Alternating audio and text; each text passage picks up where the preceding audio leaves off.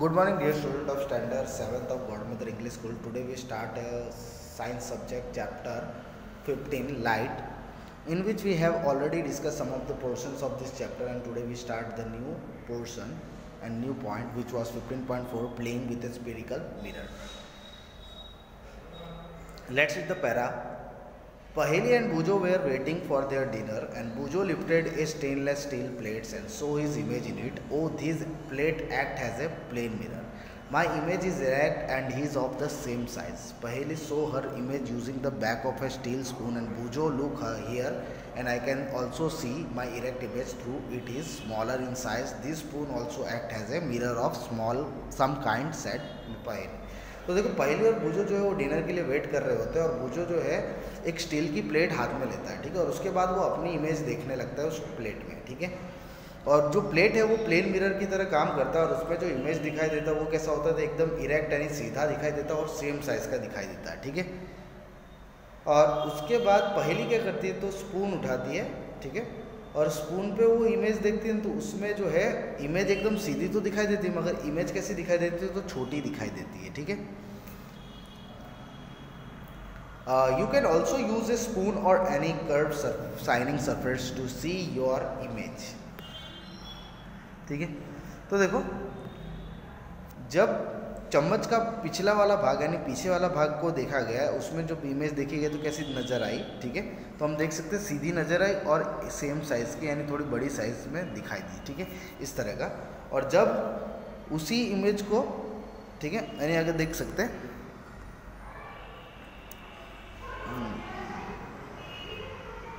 now look at your image using the inner side of the spoon अब देखा जाए तो इनर साइड में जब देखा गया तो अब क्या चीज़ हुई? तो इमेज जो है वो कैसी दिखने लगी है, ठीक है? तो इरेक्ट और लार्जर इन से साइज़ ठीक है? इस तरह से तो हम बोल सकते हैं और if you increase the distance of the spoon from your face you may see your image inverted ठीक है? अब यहाँ पे क्या होता है कि जब मतलब वो आउटर साइड पे, यानी इनर साइड पे जब इमेज देखा गया तो वो इमेज कैसी थी इरेक्ट और बड़ी इमेज दिखाई दे रही थी, ठीक है? ये चीज़।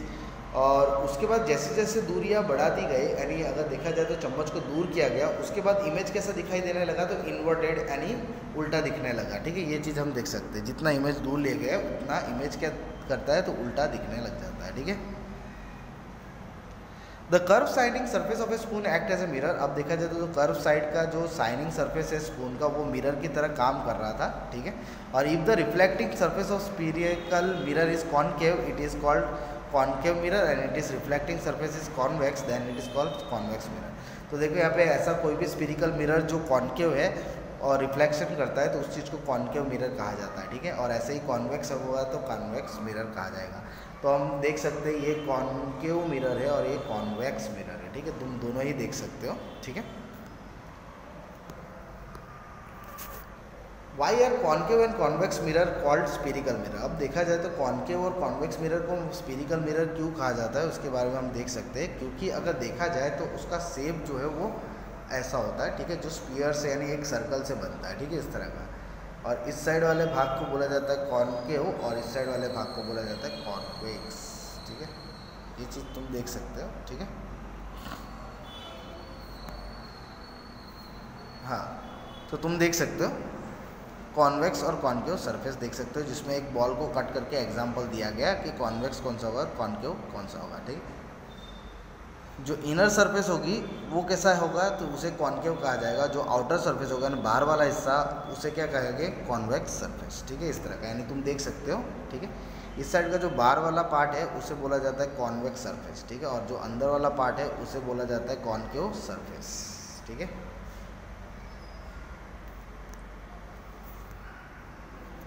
The inner surface of a spoon act like a concave mirror and while its outer surface act like a convex mirror. अब देख सकते हैं जो चम्मच होता है, उसमें अंदर वाला साइड जो है, यानी देखा जाए तो चम्मच का जो अंदर वाला पार्ट है, वो कॉन्केव मिरर की तरह काम करता है और बाहर वाला पार्ट जो है कॉन्वेक्स मिरर की तरह काम करता है, ठीक है? और we know that the image on object form by a plane mirror can not be obtained on screen अब देखो, जो भी इमेज प्लेन मिरर पे फॉर्म होती है, उसे हम स्क्रीन पे नहीं दर्शा सकते ठीक है? इस तरह का है। Caution, you will conduct activity 15.6 in the sunlight. Be carefully, never look directly towards the sun or its image as it's may damage your eyes ठीक है तो देखो यहाँ पे सन की रोशनी में कभी भी सन की तरफ़ हमें डायरेक्टली नहीं देखना चाहिए क्योंकि उससे क्या चीज़ हो सकती है तो लाइट्स जो डायरेक्ट हमारी आँखों पे पड़ेगी जो हमारी आँखों को नुकसान पहुँचाएगी ठीक है इस तरह का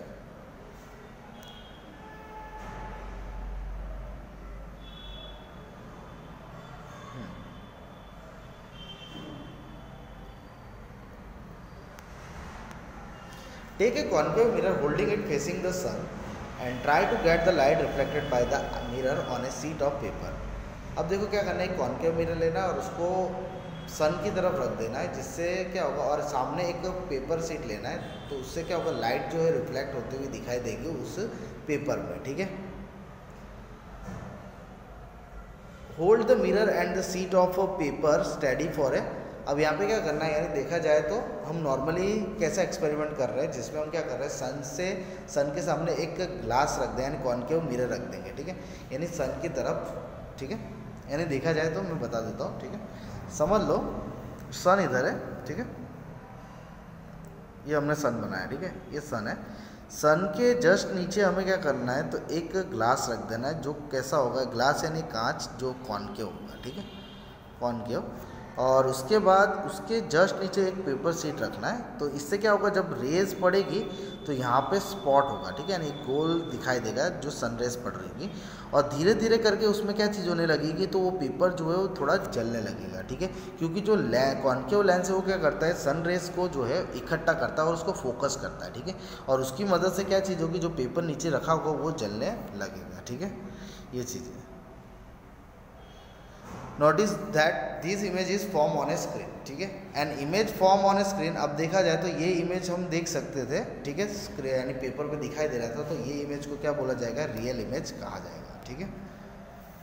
the image ऑप्टे formed by a plane mirror could not be obtained on a screen अब देखा जाए तो जो इमेज प्लेन मिरर पे बनती है, वो स्क्रीन में नहीं दिखाई जा सकती और उसी चीज़ को हम क्या बोलते हैं? वर्चुअल इमेज कहा जाता है, ठीक है? उसको वर्चुअल इमेज कहते हैं।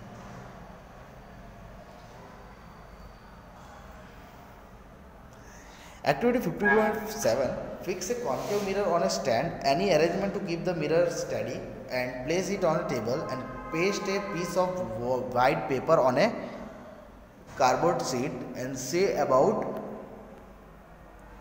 तो देखिए हम देख सकते हैं यहाँ पे हम कॉन्केव मिरर का इस्तेमाल कर रहे हैं और उसके सामने जो है फायर हम देख सकते हैं ठीक है तो जब ये रिफ्लेक्ट होके हमको कहाँ दिखाई देगा तो स्क्रीन पे दिखाई देगा ठीक है तो हम देख सकते हैं ये चीज़ को यानी लाइट को हमने कैंडल लाइट को जो है, ठीक है, उसका हमने रिफ्लेक्शन देख लिया, ठीक है? सामने एक हमने कॉन्केव मिरर रखा है, इसलिए, ठीक है? प्लेन मिरर में ये चीज़ नहीं होगा कॉन्केव मिरर में रिफ्लेक्शन हमको देखने को मिल जाएगा, ठीक है? ये चीज़, और वो हम देख सकते हैं स्क्रीन पे दिखाई दे रहा है, यानी जो सामने कार्बोर्ड पेपर रखा है, उसमें हमें दिखाई दे रहा है, ठीक है? और वो भी अच्छी तरह इमेज नज़र आ रही है, ठीक है?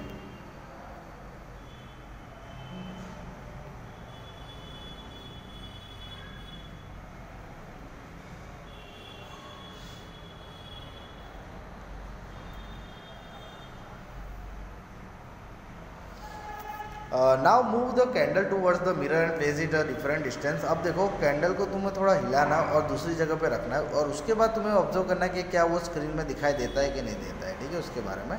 और उसके बाद ये बताना है कि वो रियल है कि वर्चुअल है, ठीक है? रियल यानी हम देख सकते जो इमेज हमको स्क्रीन में दिखाई दे वर्चुअल यानी जो स्क्रीन में ना दिखाई दे, ठीक है? अब देखा जाए तो कॉन्केव मिरर का इस्तेमाल बहुत जगहों पे होता है तो डॉक्टर भी कॉन्केव मिरर का इस्तेमाल करता है आँखों का यानी आँखों का इलाज कर रहा हो या कान का इलाज कर रहा हो या नोज़ या फिर थ्रॉट ये सब के लिए कांच का इस्तेमाल किया जाता है और वो कांच कौन सा होता है? कॉन्केव मिरर, ठीक है? ये चीज़। और कॉन्केव मिरर जो है वो डेंटिस्ट द्वारा भी इस्तेमाल किया जाता है। जब वो दांत का, यानी देखा जाए तो दांत का इलाज करता है तब, ठीक है? और इसके अलावा टॉर्च, हेडलाइट, कार की हेडलाइट, स्कूटर, ये सब जगह पे रिफ्लेक्टर लगे होते हैं जिसमें कांच जो है कॉन्केव मिरर का इस्तेमाल किया जाता है। यानी कॉन्केव मिरर ही इस्तेमाल किया जाता है। ठीक है? Boojho observe his picture in the shiny surface of the bell on his new bicycle अब देखो बूजो जो है, वो अपनी इमेज जो कहाँ देख रहा है? तो बाईसाइकिल के बैल पे देख रहा है, ठीक है? और उसने उसमें इमेज कैसी देखी? तो इरेक्ट देखी, यानी एकदम सीधी देखी। मगर इमेज कैसी थी? तो छोटी साइज़ में थी, ठीक है? यानी उसका इमेज जो है, वो बहुत छोटा दिखाई दे रहा था। He wonder if you wonder if the bell is also a kind of spherical mirror can you recognize this uh, type of the mirror है अब देखो जो बेल था वो भी कौन से शेप का था तो हम देख सकते हैं स्पेरिकल शेप का ही था ठीक है और इसीलिए वो रिफ्लेक्ट कर रहा है और इमेज हमें दिखाई दे रही है ठीक है तो अगर देखा जाए तो उसमें कौन सी चीज़ होगी? यानी देखा जाए तो बेल कौन से मिरर में आएगा? तो कॉन्वेक्स आएगा, ठीक है? क्योंकि जिस एंगल से, यानी देखा जाए तो जिस साइड से हमें रिफ्लेक्शन दिखाई दे रहा है, वो साइड कैसा है? तो कॉन्केव है जिसमें हमने बॉल का एग्ज़ाम्पल देखा था तो बॉल में कॉन्केव साइड कौन सा होता है? तो आउटर सर्फेस ठीक है? तो बारिश टाइप के हिसाब से वो क्या है? तो कॉन्वेक्स है, ठीक है? तो आज के लिए हम इतना ही रखेंगे, बाकी के नेक्स्ट वीडियो में पढ़ेंगे। Thank you